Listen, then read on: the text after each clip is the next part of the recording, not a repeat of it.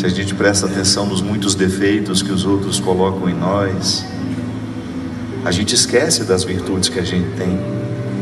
E é quase que uma tentação nossa ficar prestando atenção naquilo que a gente faz de errado o tempo todo. E quando a gente presta muita atenção naquilo que a gente faz de errado, a gente perde o principal amor que Deus pôs dentro de nós, que é o amor próprio. Quando você não se ama, dificilmente uma outra pessoa vai amar você.